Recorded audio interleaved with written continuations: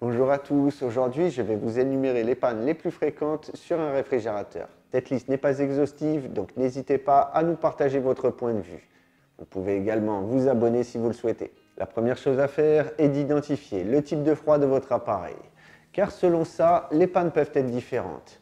Il existe trois types de froid. Le froid statique a un mur de froid visible où l'on voit de fines gouttelettes plus ou moins givrées. Le froid brassé est identique en tout point avec un ventilateur en plus. Et le froid ventilé a un ventilateur non visible et un fond en plastique d'où sort l'air frais. Si vous voulez en savoir plus sur les différents types de froid, je vous conseille cette vidéo dont le lien est en description. Allez, on attaque. Un frigo qui ne fait plus froid, c'est la panne la plus connue.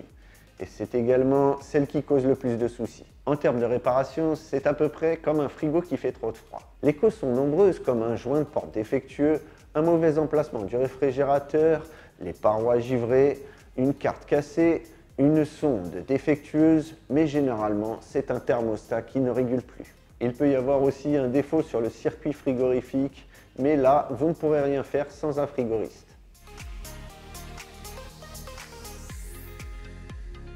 Si votre frigo est bruyant, ce n'est peut-être pas une panne. Il faut différencier les sons normaux des sons qui peuvent être plus inquiétants. Les bruits viennent souvent d'une mauvaise position des clayettes, de bouteilles ou de vibrations du frigo contre un autre meuble. Ceux qui sont plus inquiétants proviennent généralement du compresseur ou d'un ventilateur. Nous avons d'ailleurs fait une vidéo avec des exemples de bruits qui pourra certainement vous aider. Le lien est en description.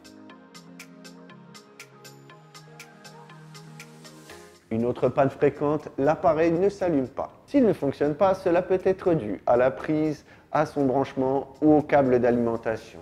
Sinon, le problème peut provenir du motoventilateur, du thermostat ou de la carte électronique. Si le frigo fonctionne mais ne s'allume pas, c'est tout simplement une histoire d'ampoule. Et voilà, vous connaissez maintenant les pannes les plus fréquentes d'un réfrigérateur. N'hésitez pas à aller voir notre playlist spéciale frigo pour réparer votre appareil s'il en a besoin. Allez, je vous laisse.